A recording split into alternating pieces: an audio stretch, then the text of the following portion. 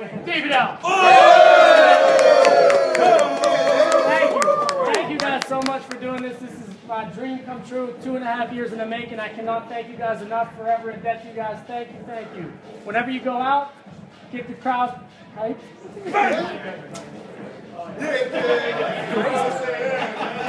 Good evening,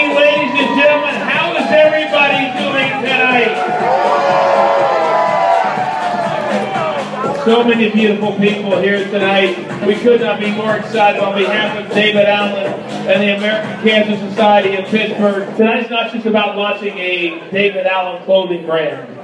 Uh, David told me about six months ago it was very important to him that if he was going to be a success, that he also wanted to give back at the same time. So he entered into a partnership about three months ago with the American Cancer Society, and we're excited to have them be a part of this event here tonight.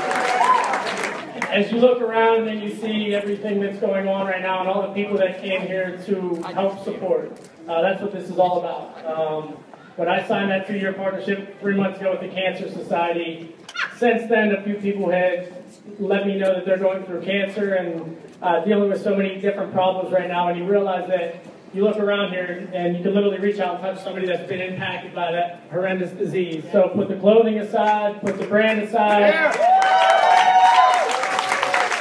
We, we don't have to put the celebrities aside because they won't come back next year.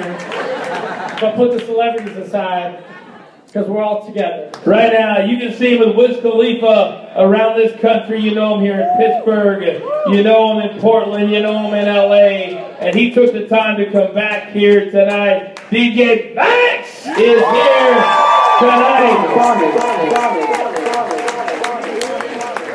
So, sir, if you don't mind, do your thing. And we're just about ready to bring out the latest in suit fashion right here in Pittsburgh. Mo Joe Rawley!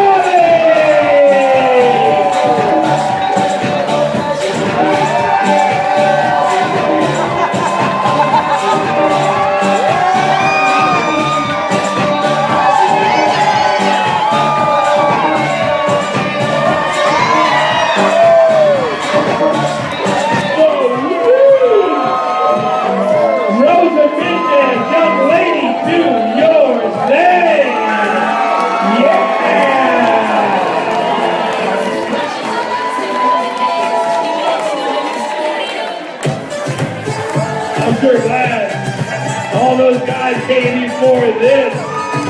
Rosa, million dollar star of A&E's Mary at the altar. Ladies and gentlemen, Jason Carrion!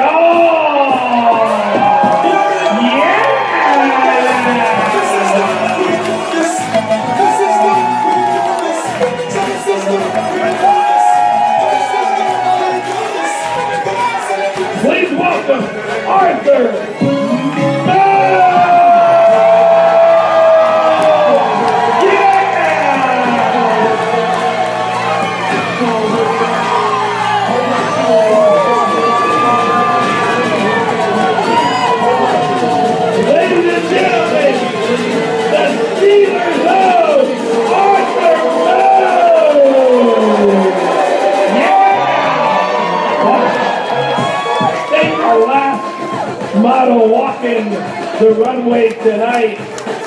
Let's make him the biggest suit name in the country in the next five years. Please welcome Mr. David